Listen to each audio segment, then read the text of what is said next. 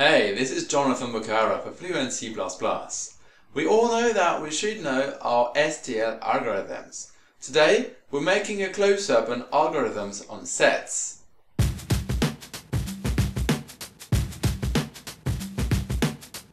So by a set, I mean a collection that is sorted, right? So it can be a std set, but it can also be a sorted std vector, for example. So a set is a sorted collection of things. So it's quite simple. You absolutely, positively, unquestionably need to know your algorithms on sets. They're so useful. So here they are. The first one is set difference. So set difference takes two sets, say set A and set B, and gives you the elements that are in A but that are not in B.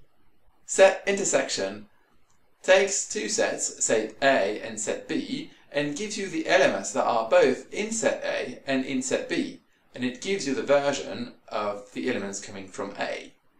Set union takes two sets, A and B, and gives you the elements that are in A or in B, so all of them, except that the inter intersection, uh, you don't get it twice, right? So it's like a union on sets. And the elements in the intersection are those coming from A. And set symmetric difference gives you the elements that are in A and not in B, and in B and not in A.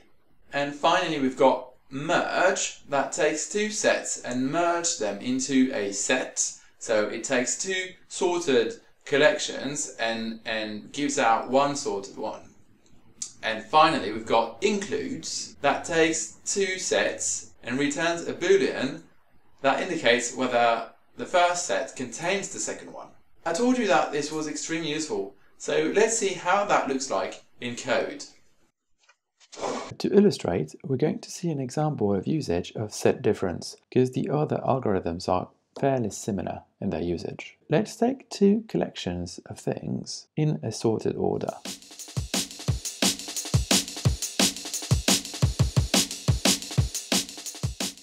So here I've used a sorted vector we could have been a set, for example, that's always sorted. Let's say that the, those two collections represent the state of a one collection before and after some values have been added and removed from that collection. Let's try and find out what values have been added and what values have been removed. So what values have been added is essentially the values that are after but that are not before. So it sounds like a job for set difference.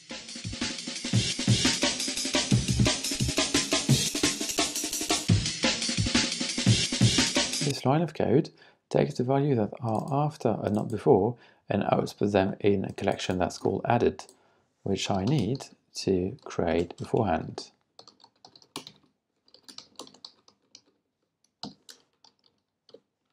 Let's do the same thing for finding the elements that were removed. So the elements that were removed are those that are before and not after.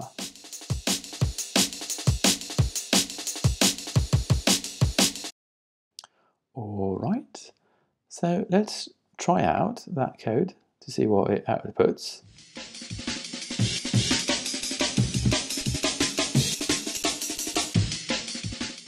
There we are.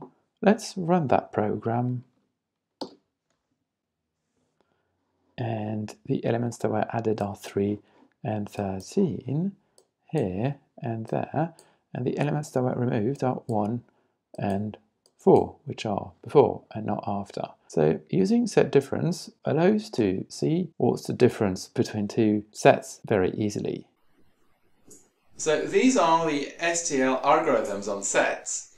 It's interesting to know how they are implemented, but that's the topic for next video. If you like this video, you can subscribe to the channel, Fluent C++, and put a thumb up if you liked it. I'll see you next time.